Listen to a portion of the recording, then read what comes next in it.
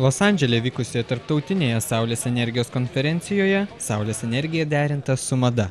Septintojo mados dizaino konkurso Project Runaway, kurį vedė Heidi Klum nugalėtojas, Setas Aronas parodė aukštosios mados kolekciją įkvėptą Saulės technologijų.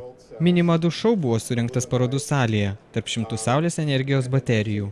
Modeliai pozavo ant juodo Saulės baterijų podiumo, pagaminto amerikiečių kompanijos Solar World. Manekenės vilkėjo trumpas futuristinio, mokslinės fantastikos stiliaus sukneles iš plastiko ir kitų modernių medžiagų. Kurdamas savo kolekciją, Setas Aronas siekia nutiesti tiltą tarp mados ir ekologiškos energijos pasaulių. This is two different worlds. Tai du skirtingi pasauliai, mes tokie patys, tik skirtingose salės pusėse. Ir štai aš sukūriau drabužių kolekciją, kur sujungiau šiuos du pasaulius - Saulės energijos pramonę ir mados pasaulį. Todėl žinia Saulės teoriškai dabar su platesnį auditoriją. energijos šaltiniais. Dizaineris dėgė Saulės baterijas savo name Los Andželė.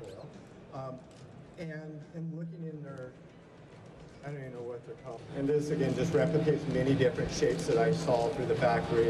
And yeah, actually, Solar World is coming out, and it's I am installing solar in my house. Labai džiaugiuosi dėl šio savo sprendimo.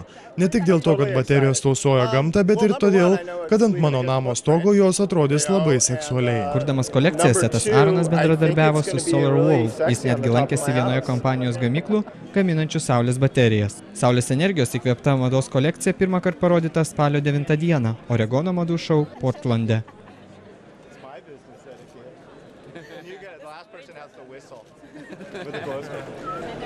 Fashion show, 3708 on a flat silver.